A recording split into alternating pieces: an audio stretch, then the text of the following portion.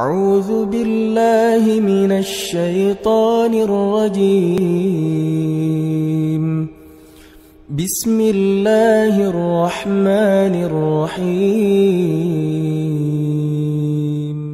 الحمد لله الذي أنزل على عبده الكتاب ولم يجعل له عوجاً.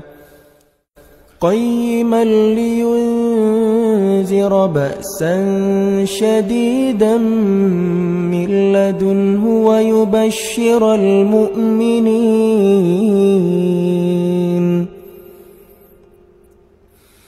ويبشر المؤمنين الذين يعملون الصالحات أن لهم أجرا حسناً ماكثين فيه أبدا.